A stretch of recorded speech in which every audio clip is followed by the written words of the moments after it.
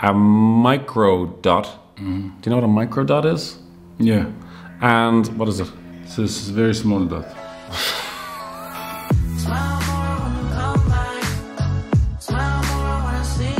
Hello, everybody, and welcome to another episode of Crypto With Amine, Okay, I mean, I am continuing to be fascinated by this world of NFTs. yeah. And I was looking around online. I found an article from, uh, oh, well, Crypto News, cryptonews.com.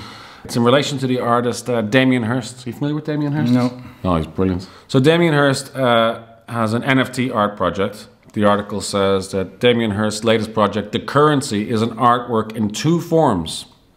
Its physical form is 10,000 unique hand painted A4 sheets covered in colorful dots. Mm-hmm. In the same way as paper money, each sheet includes a holographic image of Hirst, mm. a signature, a micro dot. Mm-hmm. Do you know what a micro dot is? Yeah.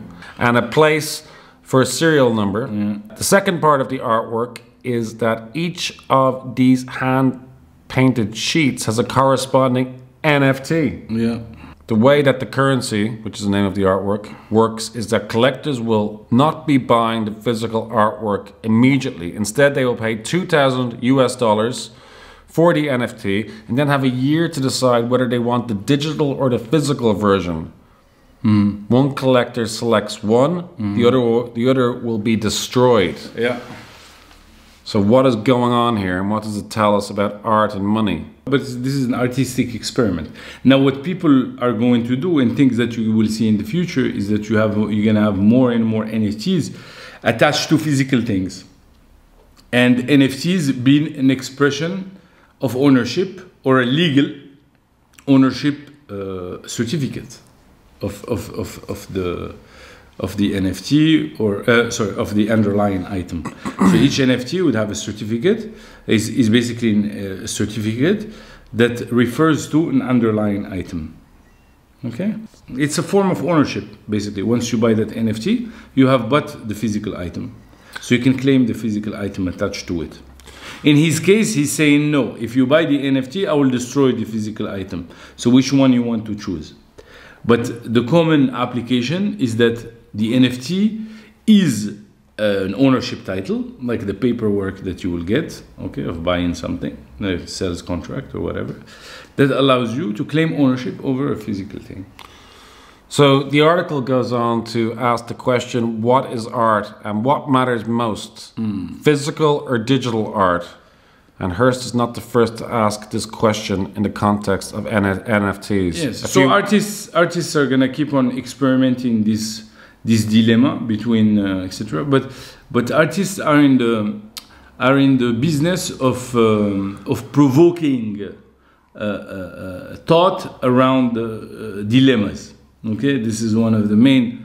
Uh, substance of, of the substance substantial quests of, of an artist where the NFT environment can apply to a wider range of, of, of, of topics by being able to replace a certificate of ownership of a physical thing. For many, the puzzle is why someone would feel that owning a digital version rather than an actual artwork constitutes ownership at all. Uh, yeah, but this is uh, once again, artists are in the business of querying about these kind of things. But people today, for generation under 20 years old, most of their valuables, uh, valuables have a digital form. I mean, they own things digitally. They own more things digitally than physically. It closes by saying a particularly clear cut example of this would be someone who, after the year has passed, decided to claim the NFT of Hirst's work and reject the physical version. What better move to signal commitment to a blockchain future? When the year is up and we see how many people chose to keep the NFT, it might even give an interesting indication of to what extent this new digital generation is becoming the dominant one. Absolutely, and uh, I think this is a very interesting experiment, and uh, it's it will be. It, it is interesting. isn't it? Yeah, but it's Damien be- Hirst, well done.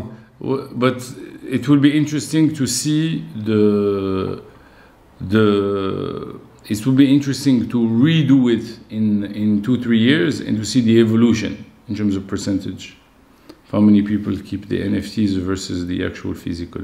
And that article is by Paul Dylan Ennis of uh, Crypto News.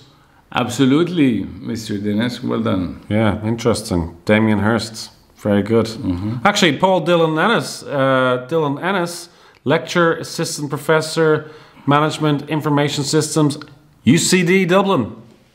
Oh, in it, my uh, sorry, that's not. Uh, That's Dublin not Irish, accent. no, no, not at all. Uh, but uh, UCD, my father went to UCD. Oh, really? Did you? No, I didn't. My brother goes to UCD. Really? Yeah, I must get him to drop in on uh, on Mr. Ennis. I need to visit Ireland, man. You Never do, been. you do. Say goodbye. Goodbye. Thanks for tuning in. Thank like, you. comment, subscribe. Yes, sir.